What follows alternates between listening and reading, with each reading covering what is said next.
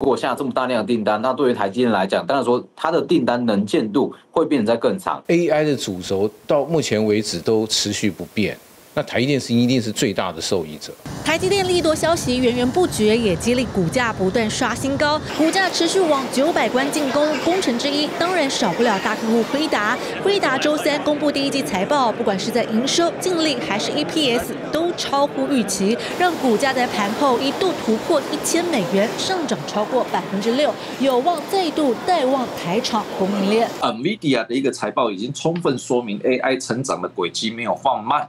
那这样的话呢，其实已经奠定了 AI。啊，这个呃，一个中长线走势的一个基础。受到飞达激励，台股相关电子股五月二十三号纷纷开高，带动加权指数开盘直接跳空大涨一百一十七点，攻上两万一千六百六十八点，再度刷新纪录。但随即因为中国军演加上美国联准会持续放鹰，利空消息让盘中一度翻黑，高低震荡近两百点。好在由电子股撑住盘面。FED 态度起起伏伏，这个。对于股市影响都比较短暂的。